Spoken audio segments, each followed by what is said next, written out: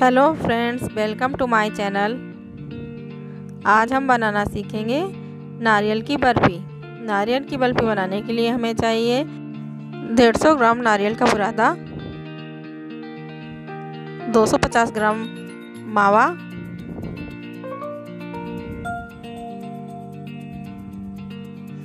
दो सौ पचास ग्राम बूरा मैंने ये पूरा घर पे ही बनाया है। चार से छः हरी इलायची, बादाम गार्निशिंग के लिए।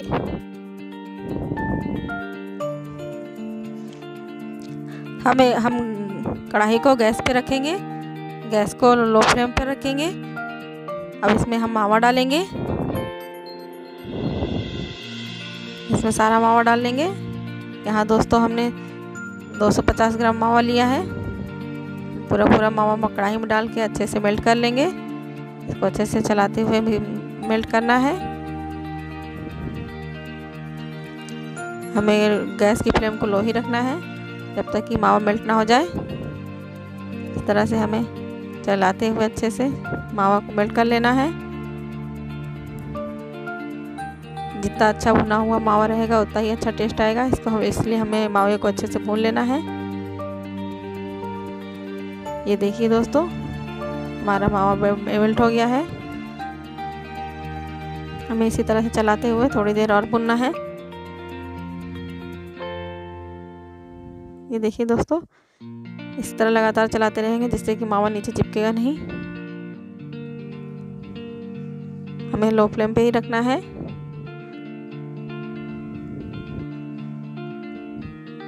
ये देखिए दोस्तों, इस तरह से चलाते हुए अच्छे से भुनना है।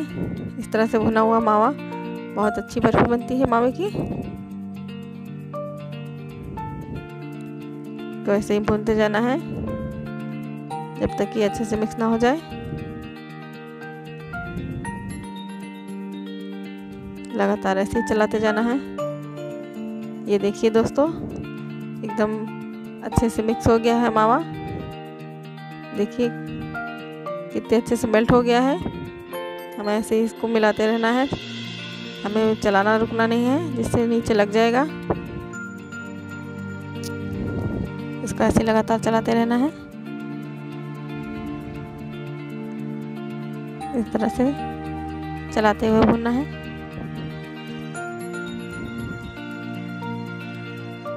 इस तरह से चलाते हुए मावे को हम धीमे धीमे आँच पर भूनेंगे इससे मावा नीचे लगेगा नहीं। नीचे लग जाएगा तो मावा चिपक जाएगा। ये देखिए दोस्तों, हमारा मावा लगभग भुन चुका है वो कढ़ाई छोड़ रहा है। अब हम हरी इलायचियों को कूट के पाउडर बना लेंगे। मैं साबुत इलायची लेना पसंद करती हूँ। बाज़ार में इलायची का पाउडर भी मिलता है, पर वो उतना अच्छा नहीं होता है। अब मैं इसको मावे में डाल दूँगी। इससे उसमें बहुत अच्छी खुशबू आएगी। पाउडर बना लिया मैंने। अब मैं इसको मावे में डाल दूँगी। घर का बना हुआ इलायची पाउडर बहुत ही अच्छा होता है, बहुत खुशबूदार होता है। अब इस तरह से मावे की बर्फ़ी ज़रूर ट्राई कीजिए। त्योहारों पे बना करके अपने सभी दोस्तों को खिलाइए। इस तरह से बनाई हुई बर्फ़ी बहुत ही स्वादिष्ट होती है। अब इसको ऐसे चलाते हुए पूरा मिक्स कर लेंगे। ये देखिए दोस्तों। हमको इसको लगातार चलाते रहना है, नहीं तो इस तरह से चिपकने लगता है। अब हमारा भावा पूरी तरह से भून करके तैयार हो गया है, कढ़ाई छोड़ने लगा है। ये देखिए दोस्तों, हमारा मावा भून करके तैयार हो गया है। अब हम इसमें बूरा ऐड करेंगे। ये बूरा मैंने घर पे ही बनाया है। आप चाहे तो इसे, इसका वीडियो भी देख सकते हैं मेरे चैनल पे। अब इसको अच्छे से मिलाते हुए मिक्स करेंगे, जब तक कि बूरा मावे में मिक्स नहीं हो जाता है। अच्छे से जब तक कि चीनी अच्छे से मेल्ट नहीं हो जाती, हम इसको लो फ्लेम पर ही रखेंगे। इसको लगातार चलाते रहना है। ये देखिए दोस्तों, चीनी मेल्ट होने लगी है। आप चाहें तो साबुत चीनी भी डाल सकते हैं, लेकिन अगर बूरा बना के डालेंगे तो उससे मिठाई का बहुत अच्छा टेस्ट आता है। इसके लिए मैं पहले मैं कहना चाहूँगी कि आप इस तरह ज़रूर ट्राई करें। बुरा बना करके बनाएँ। बहुत दानेदार, बहुत अच्छी मिठाई बनती है। इस तरह से बनाई हुई बर्फ़ी ज़रूर खाइए। अभी इसको चलाते हुए ऐसे ही थोड़ी देर भूनेंगे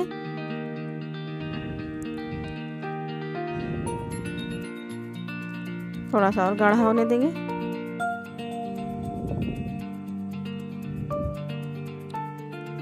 हमें गैस को मीडियम, लो फ्लेम पर ही रखना है।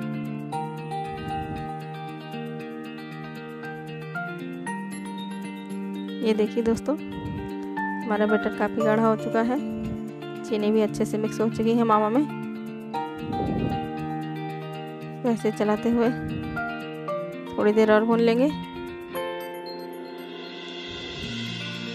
ये देखिए दोस्तों, हमारी चीनी मेल्ट हो चुकी है। आप हमेशा घर पे इसी तरह से मिठाई बनाइए, बहुत ही हेल्दी स्वीट होता है। बच्चों के लिए, बूढ़ों के लिए, सभी के लिए बहुत अच्छा होता है। इसमें किसी तरह का केमिकल यूज़ नहीं हुआ है। घर पे बनाया हुआ पूरा शुद्ध मावे से बना हुआ है। अब इसमें नारियल का बुरादा मैंने डाल दिया है। अब इसको भी मिक्स करूँगी। इसको चलाते हुए मिक्स करना है हमको। मैंने गैस की फ्लेम को थोड़ा तेज़ कर दिया है। इसको लगातार चलाते रहना है, छोड़ना नहीं है, नहीं तो नीचे से मावा जल जाएगा। ये देखिए दोस्तों, हमारा बैटर इतना सूख जाना चाहिए। अब हमारी बर्फ़ी जमाने के लिए तैयार हो गई है। अब हम इसे एक प्लेट में निकाल लेंगे। अब पहले प्लेट में घी लगा के तैयार कर लेंगे प्लेट को।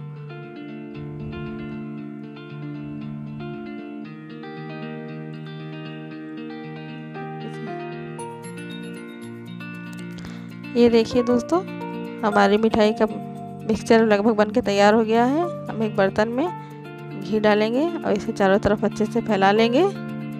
ये हम ऐसे इसलिए करते हैं जिससे कि आसानी से बर्फ़ी को जमाया जा सके और बाद में निकाला जा सके। बर्फ़ी प्लेट में चिपकेगी नहीं।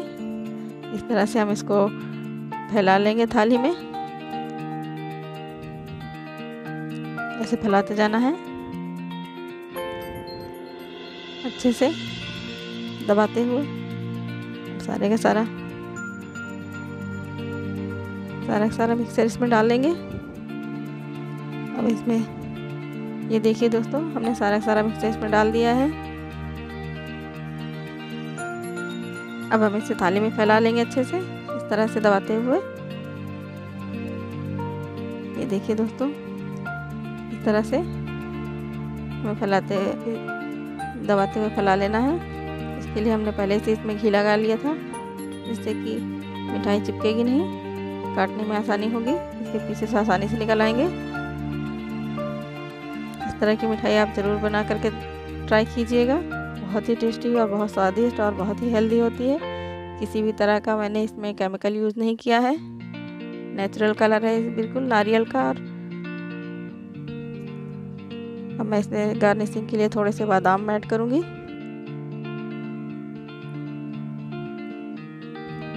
ये देखिए दोस्तों, ठंडी होकर के बिल्कुल तैयार हो गई है।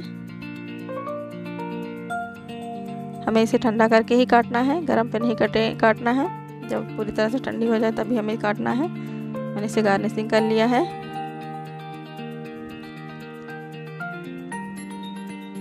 अच्छे से बादाम से। आप चाहें तो और भी ड्राई फ्रूट्स डाल सकते हैं। को जो भी ड्राई फ्रूट्स पसंद हो डाल सकते हैं। अब मैं इसके पीसेस काट लूँगी।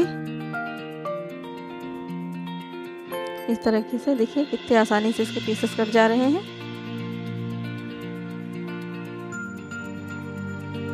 ये देखिए दोस्तों, बहुत आसानी से कट जा रहे हैं इसके पीसेस बहुत ही आसान है इस तरह की मिठाई बनाना। आप ज़रूर ट्राई कीजिए। बहुत ही टेस्टी बनती है। एक बार बना करके ज़रूर खाइए और अपने दोस्तों को खिलाइए। सबकी तारीफ़ें पाइए।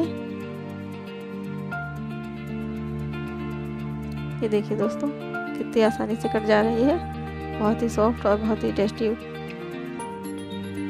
बर्फ़ी बनी है। मैं भी आपको काट कर इसके पीस निकाल के दिखाती हूँ।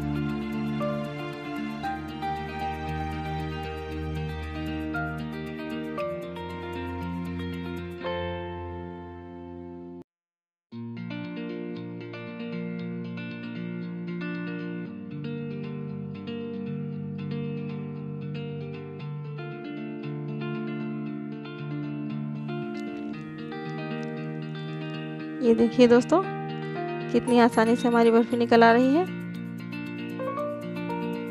ये देखिए दोस्तों, मैंने इसके पीस को काट लिया है। देखिए, कितनी अच्छी दिख रही है। अगर आपको मेरा वीडियो पसंद आया है तो प्लीज़ मेरे चैनल को लाइक, शेयर, सब्सक्राइब ज़रूर कीजिए। Thank you.